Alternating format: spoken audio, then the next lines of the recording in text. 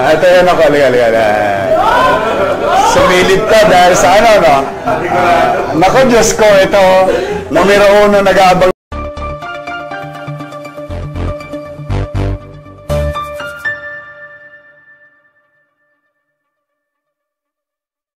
Sa mga bata naman, oh, pwede na kayong mapuyat.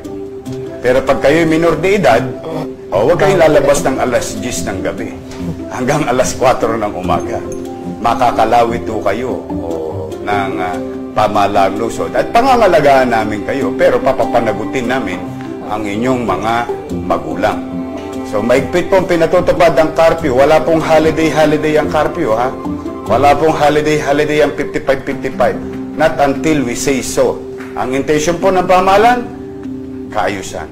At higit sa lahat, maging ligtas ang inyong mga minor de edad na anak. O, mga bata, elementarya, o, sekundarya, tersera, o lahat pa ng eskwela, walang pasok.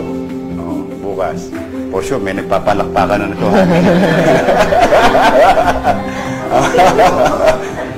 Public and private. Tuwan-tuwa yung anak ko. Ah, Ito yan ako. Liga, liga, liga. Sumilip ka dahil sa ano, no? Nako, Diyos ko, ito, numero uno nag-aabang na walang pasok. Oh, ayan. O, titahanin mo. Oh. Nag-abang eh, oh. Na. O, sige na, doon ka na. Excited ka rin walang pasok eh. Oh, walang pasok sa private. Oh, ang dahilan, oh, hindi ho dahil sa may bagyo, o wala. O, para hindi na sila sumabay sa November 1. Pag mabigyan din sila ng ample time, makauwi sa kani-kaniyang pamilya sa buong Pilipinas. At makapiling nila ang kanilang mga mahal sa buhay ng mga batang nag-aaral sa lungsod ng Maynila. So, muli, walang pasok.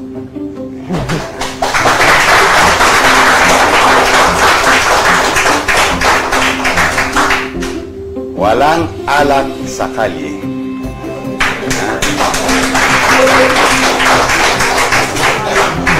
Walang patalas at armas. Ah, alagad lang ng batas. Ah, mga enforcement unit lang na kinikilala ng Estado ang may karapatang magdala ah, ng kanilang armas upang magpatupad ng mga lituntuning pinatutupad ng Estado at ng pamahalang lungsod. Sana maging mapayapa at ah, maging maayos ang lungsod ng Maynila sa tulong po ninyo. Wala pong magmamalasakit sa ating mga batang Maynila, kundi tayo rin kapwa batang, Batang Maynila. Maynila. Okay? O now, eto, bago matapos ang broadcast, ah, tingnan nyo na, talaga sabi